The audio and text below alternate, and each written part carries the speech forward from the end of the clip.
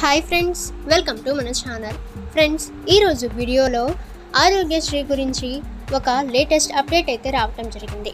ఆ వివరాలు ఈ వీడియోలో మనం చూద్దాం. సో ఫ్రెండ్స్ గవర్నమెంట్ నుంచి వచ్చిన ఈ చిన్న అప్డేట్ కూడా మీరు మిస్ కాకుండా ఉండాలనుకుంటే మన ఛానల్ని సబ్స్క్రైబ్ చేసి బెల్ ఐకాన్ని ఆల్ మీద ట్యాప్ చేయండి.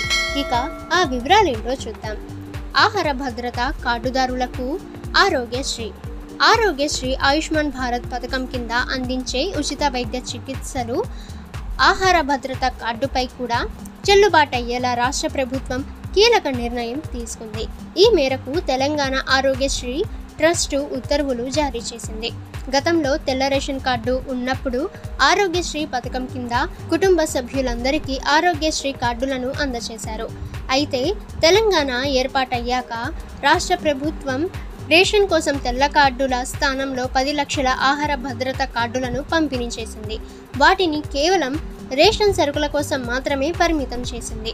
ఆరోగ్యశ్రీ ఆయుష్మాన్ భారత్ కింద చికిత్సలు పొందాలంటే సంబంధిత కార్డు కానీ లేదా తల్లి రేషన్ కార్డు కానీ ఉండాలనే నిబంధన ఉంది.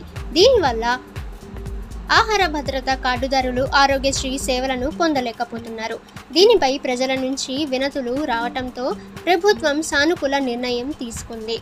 ఆహార భద్రత కార్డుదారులకు ఇక నుంచి ఆరోగ్యశ్రీ అనేది వర్తిస్తుంది.